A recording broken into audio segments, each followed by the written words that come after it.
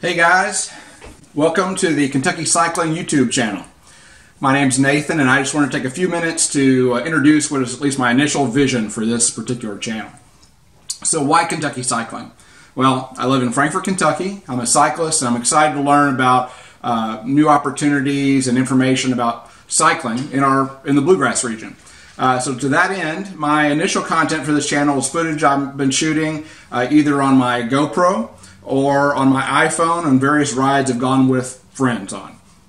Admittedly, it's it's fun for me to, and my buddies to get a look at back at the rides we've been on. But if you're like me, uh, you might be thinking about going out to ride someplace you've never been. You might be interested in getting an idea about what a particular area is like before you go. Well, I think YouTube is a great forum for that, and I've benefited from other YouTube riders and creators who basically created videos in places like Western North Carolina where there's absolutely awesome uh, mountain biking.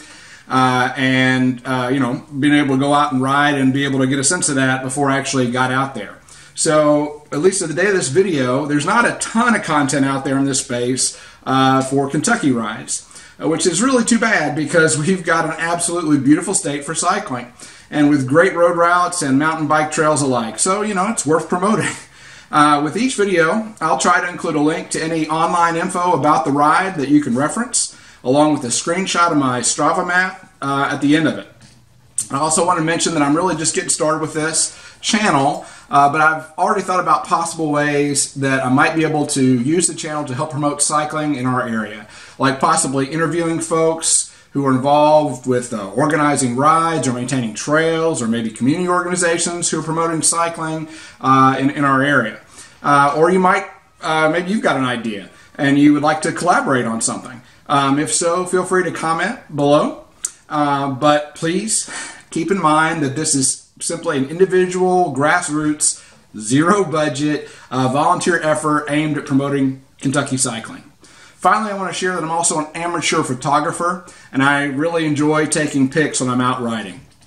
If you're interested in checking out uh, those pictures, you can follow me on Instagram at, at KYCycles or Twitter as uh, at Rome Family. Uh, also, a, a, friend encouraged me a few years ago to actually uh, take the photos that I had been taking and publish them as a calendar. Uh, well, my wife actually is a cancer survivor, so five years ago I started riding in the Bike to Beat Cancer, which is a fundraiser for Norton Cancer Institute. If you've never done a ride for charity, uh, you'll never feel like more of a rock star than at these rides. And uh, I tell you what, um, uh, the Bike to Beat Cancer is a premier example of uh, what what uh, you know fundraising ride is all about. All the benefits, all the money raised from that ride. They have great sponsors and all the money raised actually goes directly to the Norton Cancer Institute.